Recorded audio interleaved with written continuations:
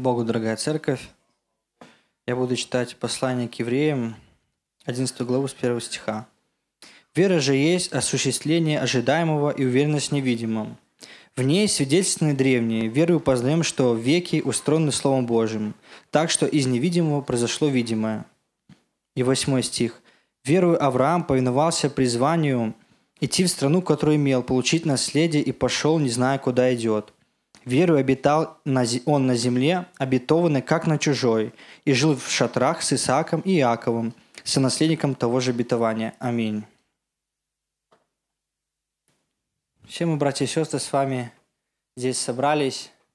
Мы все верим в Бога, и основание нашей веры – это Слово Божье. Аминь, братья и сестры. Мы видим, что основание верующего человека, в первую очередь, оно основывается на Божьем Слове, на истине Бога. И Авраам, он услышал это слово Бога, и он поверил Богу, и он пошел в ту страну чужую, веря тому слову, которое сказал ему Господь. Мы также в своей жизни можем видеть, что сегодня мы вместе собрались также здесь на основании Слова Божьего, и как Слово Божье говорит единодушно, собирались вместе, назидаемся духовными псалмами и понимаем, что на, наша вся христианская жизнь, она основывается на Слове Божьем. И мы понимаем, что многие вещи в нашей жизни, которые мы исповедуем, мы взяли это из Слова Божьего. Из тех стихов Писания – какие-то вещи в нашей жизни, которые мы исповедуем в своей жизни и применяем на практике, мы понимаем, что основа этому всему – это Божье Слово. Может быть, ты сегодня несешь труд, служение на основании Слова Божьего, как написано, что Бог какие-то, может быть, э, служения, которые несешь, Господь, Он намерение, побуждение, в соответствии с своей волей побуждал тебя к какому-то служению. Может быть, ты сегодня веришь и исповедуешь что спасешься ты весь дом твой, и несешь долгое время молитвы Богу. Может быть, ты сегодня находишься в проблеме, каких-то переживаниях, и ты получил откровение Слова Божьего, что Господь, Он выйдет и поможет тебе. И многие другие вещи мы видим, что на основании Слова Божьего Господь, Он говорил к народу своему, Он давал обетования, Он имел этот личный диалог с каждым из нас. И мы видим э, жизнь Авраама, как он, проживая свою жизнь, он верил Богу. И несмотря на то, что когда Господь ему сказал, что у него родится сын, и он долгое время, более 14 лет, у него не было детей, но он верил, доверял Богу, но какой-то проходил промежуток времени в его жизни. И, может быть, братья и сестры, сегодня ты, ходя за Богом долгие годы, может, не видишь ответа на те обетования, которые Господь говорит. Может быть, ты долгое время смотришь свою жизнь, а ответа не приходит. И, братья и сестры, я прочитаю, это будет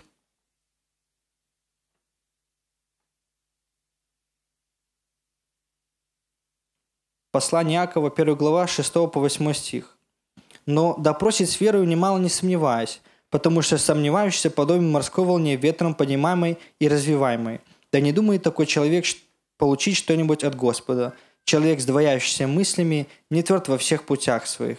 Аминь» мы видим, что когда мы приходим к Богу в молитве, могут приходить сомнения, могут приходить какие-то переживания, особенно когда долгое время человек, он не видит, может, какого-то результата в своей жизни, его жизнь могут приходить сомнения.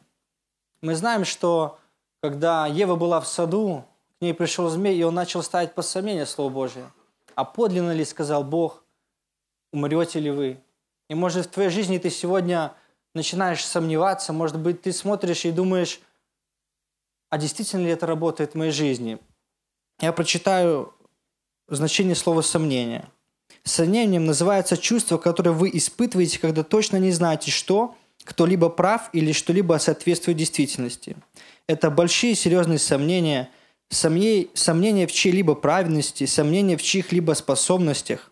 Сомнение берет, мучает и не покидает кого-либо. Также прочитаю, что такое двоедушие. Это нравственное качество личности, выражающееся в расхождении у человека слова и дела, в двойной морали, в двойном стандарте поведения. Двоедушный человек неискрен, хитер, лжив и приспосабливается к конкретным условиям, действует и говорит в зависимости от обстоятельств. мы видим, что Слово Божье говорит, что такой человек, он не получит от Господа. Если он будет двоедушным, если он будет сомневаться. И, братья и сестры, я заметил, знаете, какой, такой интересный момент. Бог сказал Аврааму, что в Исааке наречется тебе ну, семя, да, что именно в Исааке будет благословение и потомство. И Господь вдруг говорит ему, иди и принеси своего сына в жертву. И Авраам берет сына, дрова, и он идет туда, на эту гору, и мы видим, и в Библии написано, что он не сомневался.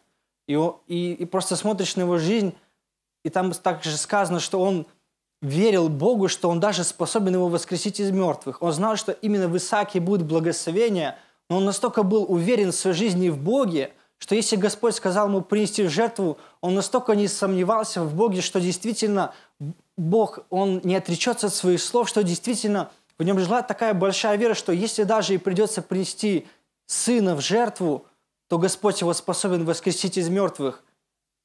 я заметил такую закономерность, что сомнение – это все-таки не просто, когда человек может сомневается, думает, но сомнение – это бездействие. Когда человек, он в этих сомнениях, он перестает делать определенные вещи. Мы понимаем, что когда человек сомневается, он вдруг как бы стопорится и стоит на месте. Он находится в каких-то размышлениях, раздумьях, вместо того, чтобы действовать, вместо того, чтобы предпринять какие-то усилия, человек, он находится как бы в этом страхе и в ступоре. И мы видим, насколько Божье Слово, оно говорит, что нужно от, убрать эти сомнения, какие-то переживания. Послание Якова, 1 глава 6 стиха. «Но допросит с верой, немало не сомневаясь». Мы видим, что Яков говорит, проси с верой, немало не сомневаясь. Не просто, может, где-то в мыслях, но, братья и сестры, мы все верим, да, допустим, что грех – это убийство, да, и мы никого, можно так простыми словами сказать, мы не убиваем, но какие-то вещи, может, в твоей жизни – те обетования, которые ты, может, долгие годы нес, служение, труд, молитвы, ты как бы веришь, ты можешь приходить в церковь, ты можешь соглашаться с тем, что Господь, Он силен спасти. Ты можешь соглашаться, соглашаться с тем, что Господь сильно что-то совершит в твоей жизни.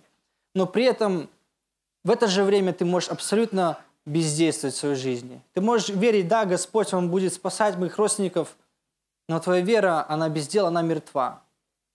Молитвы твои, они не возносятся. Да, ты веришь, но, как апостол Павел говорит, покажи веру из дел своих. Если ты действительно веруешь, что Господь может в твоей жизни сделать, а что ты делаешь сегодня в своей жизни? Я прочитаю, это будет место Писания.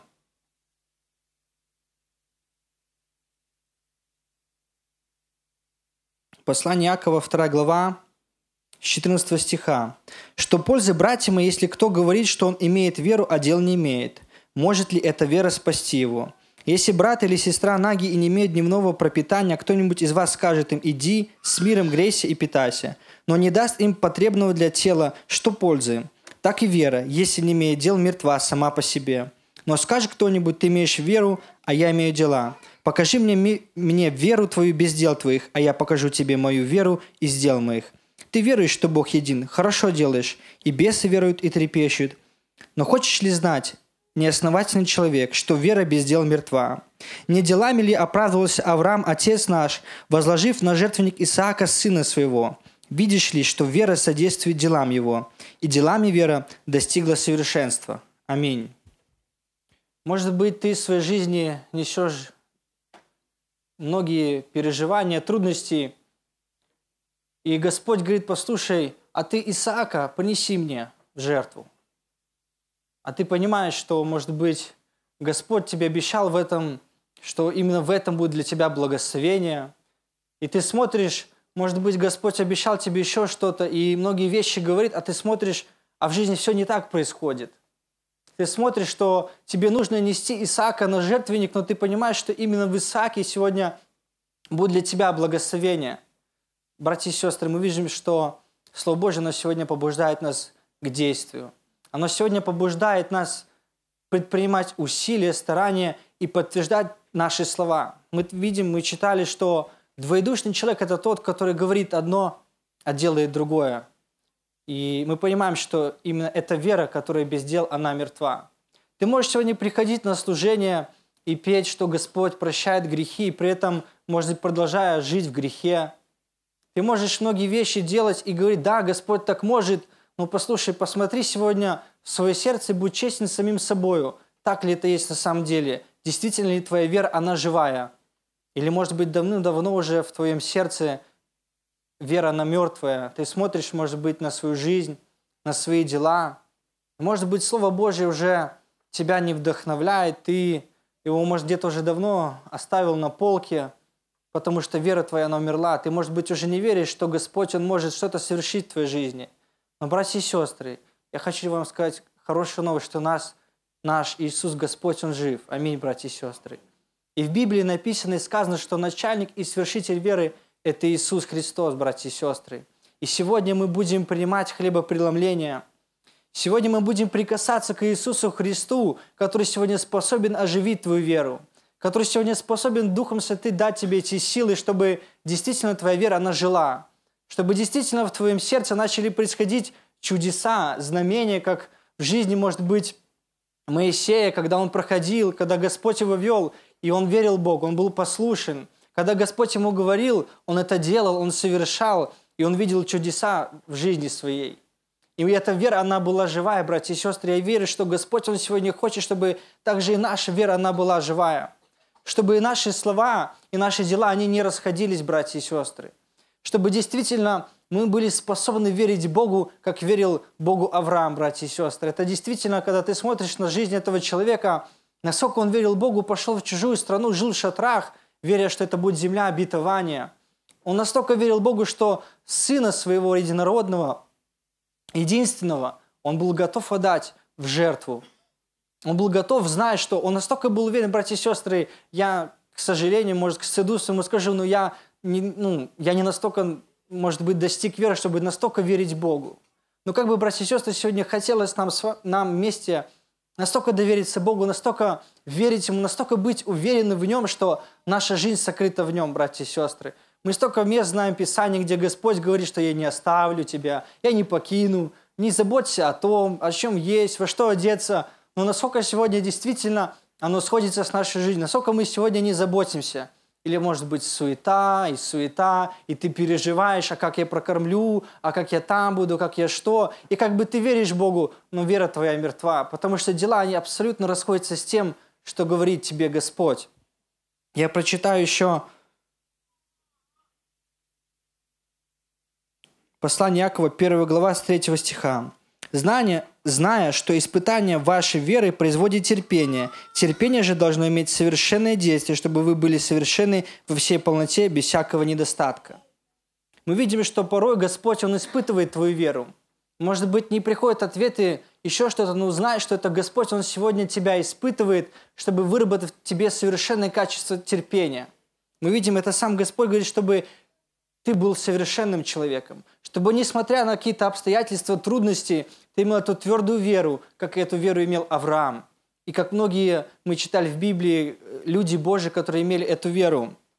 Я хочу еще в заключение прочитать